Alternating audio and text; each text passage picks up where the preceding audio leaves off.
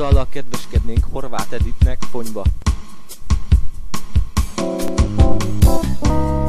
Minden nap, minden éjszakán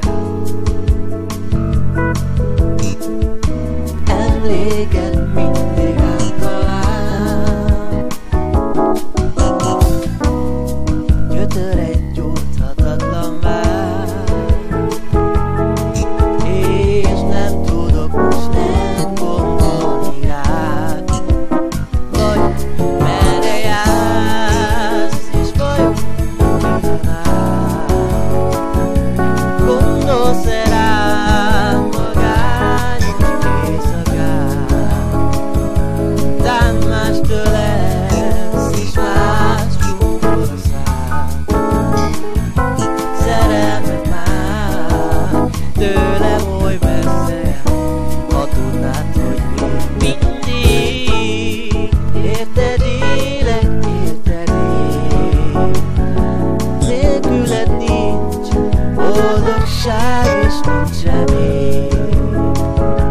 Nem tudom azt, hogy meddig még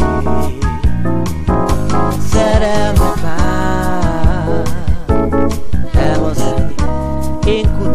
Az elmúlt éveket. Hogy el az életem